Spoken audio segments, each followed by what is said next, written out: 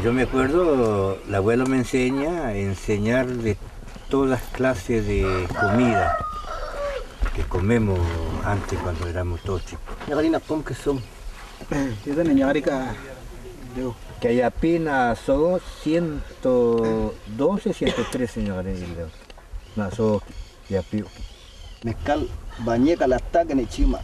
Sira lolo sira Nikit ka nikit ka lo lang na ko mo kaya ikin na mare na iko kin tawekit kaya ikit ka sa ginag na na yakan ta na ugent na ikin na gina na ugent na na ikin na kana tarin na ka na. Na tika gina kare kare lao ka bitti no eh kayo kurelig na ma nan kipi kayo kurel tomate kayo kurelig weneno kayo kurelig soha na soli na ugi na ugi kayo kurelig wajilat ta tekin? Kan?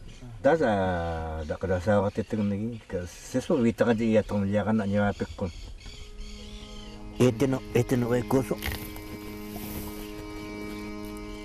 Ah, sí, meona. Esta hierba meona, le dice. Ese sí, también es remedio de la parte de la vejiga. Este. Pero por las raíces.